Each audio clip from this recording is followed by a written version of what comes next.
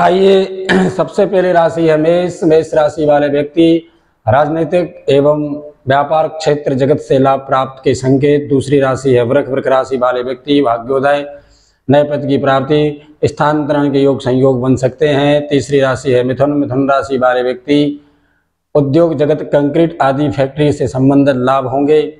चौथी राशि है कर्क। कर्क राशि वाले व्यक्ति भाग्योदय होगा, नए पद की प्राप्ति होगी। पांचवी राशि है, सिंह सिंह राशि वाले व्यक्ति, अजनबी लोगों से भेंट हो सकती है, स्वास्थ्य उत्तम रहेगा। छठवीं राशि कन्या कन्या राशि वाले व्यक्ति, मानसिक तनाव बेचैनी अथवा स्वास्थ्य में गिरावट के योग बन रहे हैं।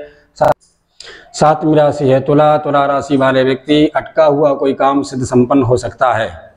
आठवीं राशि वृश्चिक वृश्चिक राशि वाले व्यक्ति, व्यापार जगत से आपको आज कोई नया काम अथवा व्यापार मिल सकता है। नवम राशि धनु धनु राशि वाले व्यक्ति भाग्योदय नए पद की प्राप्ति, स्थानांतरण के योग संयोग बन रहे हैं।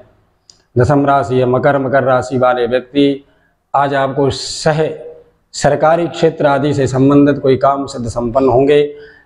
ग्यारहवीं राशि, कुंभ कुंभ राशि वाले व्यक्ति भाग्योदय नए पद की प्राप्ति, स्थानांतरण के योग संयोग बन रहे हैं। बारहवीं राशि है। मीन मीन राशि वाले व्यक्ति मानसिक तनाव, बेचैनी, काम कम होगी। अटका हुआ काम कोई भी आपका सिद्ध संपन्न हो सकता है। अनयस, अचानक घर में किसी बात को लेकर के कलह का माहौल बन सकता है। जय श्री कृष्णा, जय श्री राधे, जय माँ पीताम्बरा, जय माँ विंध्यवासिनी।